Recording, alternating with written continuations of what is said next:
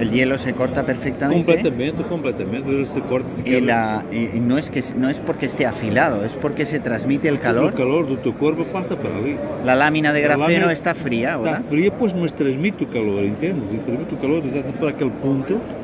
És muito